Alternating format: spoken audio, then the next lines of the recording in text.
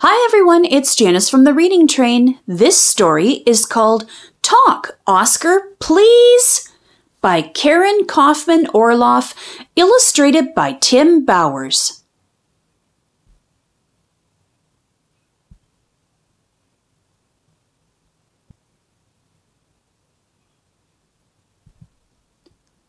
Oscar, you yip, and Oscar, you howl. Oscar, you bark, and Oscar, you growl. Oscar, you whimper, and Oscar, you wheeze. Oh boy, how I wish you could talk. Oscar, please? A dog that could talk would be totally cool. I bet I could bring you along to my school. You'll start out real simple with your ABCs, but first you should learn how to talk. Oscar, please?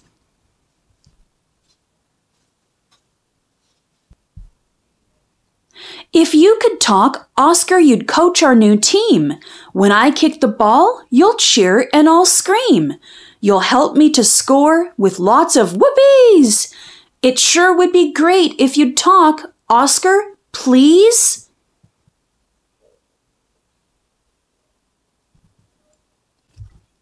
On hikes, you could lead us straight up a steep trail and identify bugs as you point with your tail. You'll love the woods, Oscar. So many big trees. So open your mouth and just talk. Oscar, please.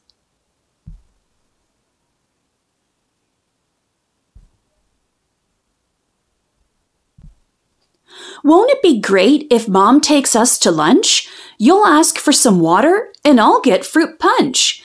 They'll serve you your favorite bacon with cheese and we might get dessert if you talk. Oscar, please? If only you'd talk when we went out to play. Instead of just running, you'd have things to say. You'll crack a few jokes, but I know you won't tease, not like my big brothers. So talk. Oscar, Please? Maybe you'd like to be on a quiz show. They'll ask you some questions to see what you know. You'll shout out the answers from A through the Z's. You'll love being famous, so talk. Oscar, please.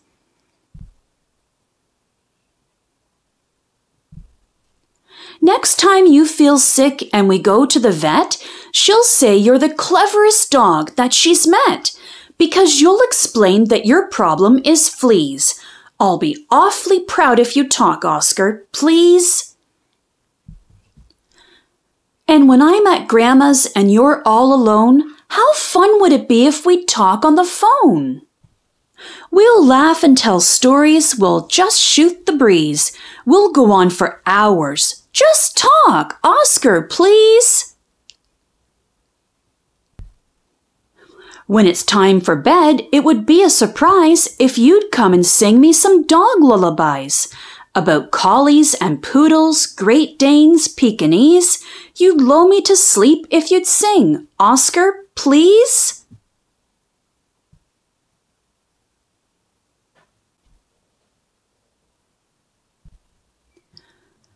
But Oscar, sometimes when we're in my room playing, I feel like I already know what you're saying. Some people may laugh and think it's pretend, but I know it's true because you're my best friend.